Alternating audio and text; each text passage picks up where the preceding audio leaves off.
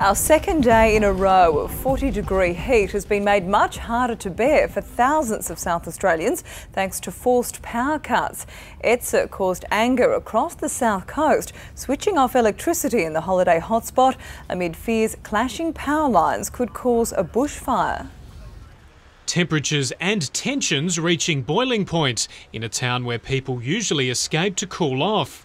The pub and every other property at Port Elliot left without power in the first heatwave of summer. Quite honestly, in this day and age, with all the technology going, why do we have to keep putting up with it? The whole south coast is affected.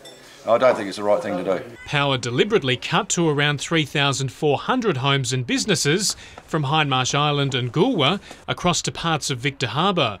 ETSA's decision hurting local businesses when they can least afford it. Disaster for us. Uh, this is the time of the year where we capitalise on uh, all our tourist trade, and uh, unfortunately, it's uh, not happening today. Us and a lot of other people around the town will be losing a lot of money today. But they could have lost much more, according to ETSA.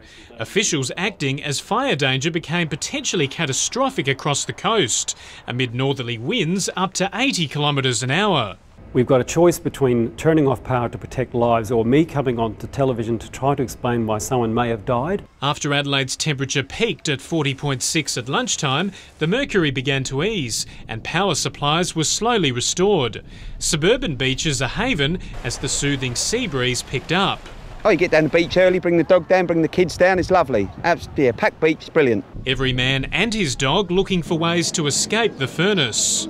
It could be worse. We're alive, we're eating ice cream, so it's not so bad. Thousands more making a splash at the city's pools. Oh, we can't be cooped up inside all day, so we thought we'd bring the kids out for a swim before it got too hot. But the coolest place to be was on the ice. We don't have an aircon at home, so we enjoy the cold and we're not sweating and everything, so it's quite nice. Adam Todd, 10 News. And Kate Freebairn is among the many trying to cool down at Brighton Beach tonight and joins us live now. Kate, can we expect any relief tonight? Well, Beck, it's very windy right now by the beach. The cool change has just started to move through, but it's still going to be another uncomfortable night. Right now, the temperature has dropped back to about 34, but this is about as cool as it will get tonight, not too much cooler at all, and that means plenty of people will spend tonight here at the beach. Now, the good news is tonight won't be quite as hot as last night.